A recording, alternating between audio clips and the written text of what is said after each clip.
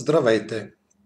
Аз съм доктор Пепеланов и се радвам, че отново имам възможността да бъдем заедно в училището за родители на сайта dechko.bg. Днес ще ви разкажа за грипа. От какво се предизвиква, как се разпространява, как грипните вируси ни увреждат, как се проявява. Грип или инфлуенца, познат в миналото като испанска болест, е остро инфекциозно заболяване, представляващо една от най-заразните инфекции – Причинява се от грипен вирус тип А и грипен вирус тип Б, но има и грипен вирус тип С. Характеризира се грипа с рязко изразена интоксикация, висока температура, главоболие, силни мускулни болки, както и катарално възпаление на горните дихателни пътища. Разпространява се циклично във вид на епидемии, които е възможно периодично да прераснат в пандемии. Високата му контагиозност, т.е заразност, се обяснява от краткия инкубационен период, въздушно-капковия механизъм на предаване, както и високата възприемчивост сред хората. Статистическите данни показват, че броя на заболяванията от грип превишава неколкократно броя на всички останали инфекции взети заедно. По време на пандемия може да се заразят от 30 до 50% от населението на Земята. Болестта е известна още от древността – има данни, че до сега човечеството е преживяло над 30 пандемии, като само през миналия век те са 3. Най-сериозната от тях е тъй наречения испански грип, възникнал през 1918 година. Тази пандемия е довела до смъртта на 20 до 50 милиона души. Грипът има здравно и медико-социално значение. Това се обославя от широкото разпространение, тежкото протичане, особено в детската и старческата възраст, както и високия процент на смъртност. Грипният вирус принадлежи към семейство Ортомиксовириде, който има само един род – инфлуенца вирус. Включваш вирусите, причиняващи заболяване при хората, бозайниците и птиците. Някои от грипните щамове са видово специфични, т.е. заразяват само определен вид животно или само хората – но има и щамове на грипа, които могат да са разпространени от животинските видове към хората. Известни са три типа вируси – тип А, тип Б и тип С. Грипните вируси тип С, макар и сходен по морфология като състав, се отличава от другите два типа по антигенните си и други основни свойства. Грип С се проявява спорадично и води до респираторно заболяване с леко протичане. Вирусите, които причиняват сезонните епидемии са от тип А и тип Б. Най-изменчиви са грипните вируси тип А. Грипните вируси са РНК вируси със сферична форма. Техният геном, т.е. цялата наследствена информация на вируса, е разделен в 8 отделни фрагмента, което допуска големи възможности за генетични вариации. Обвите с липидна обвивка, съдържаща два специфични гликопротеина, които се издават на повърхността като шипчета. Това са хемаглутинин H и невраминидаза. N.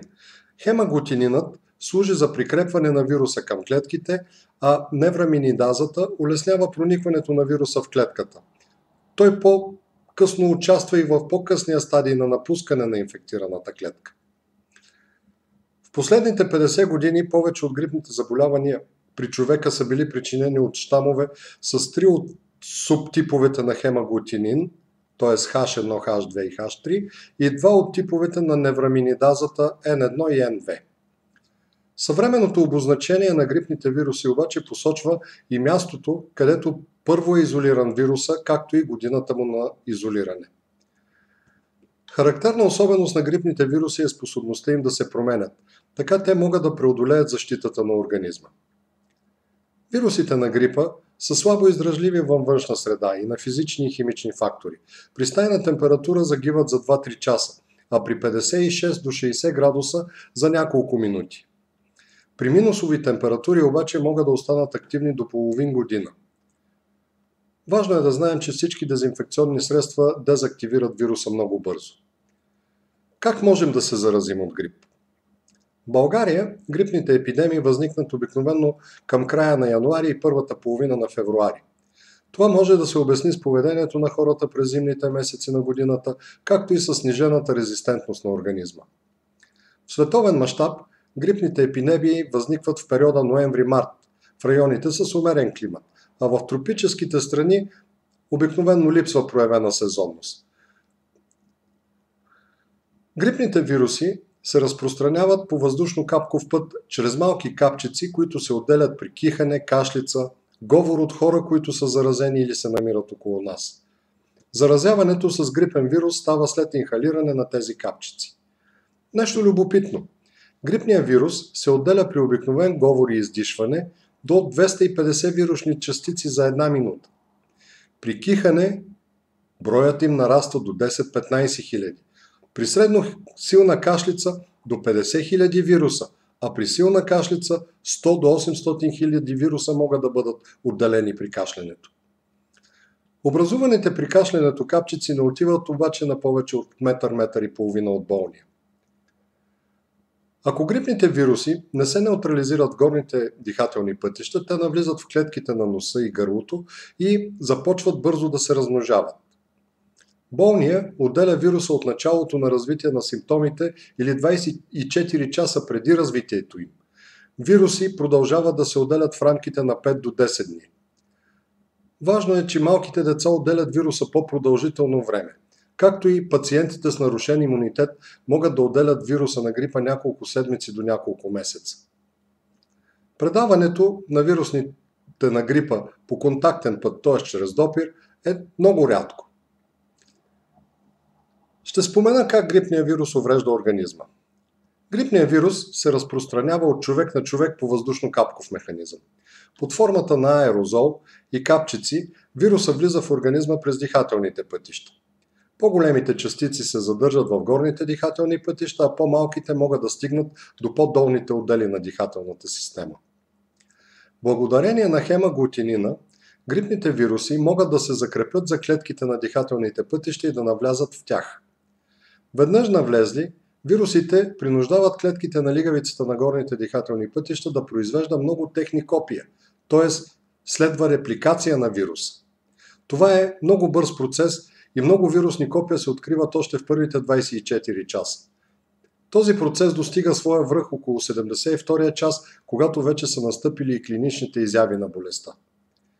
Тези копия напускат заразените клетки и се насочват към нови клетки. Засегнатият организъм изработва механизми за да попречи на прикрепването на вирусите към клетката и така да спре по-нататъчното му разпространение. При хора обаче с нарушен имунитет поради тежки заболявания или прилагане на химиотерапия е нарушена защитата на организма. При тях заболяването протича много по-тежко. В резултат на увредата на епителните клетки може да се прибави и бактериална инфекция – след тази репликация грипният вирус може да навлезне в кръвта и да порази много органи и системи – мускулите, сърцето, нервната система.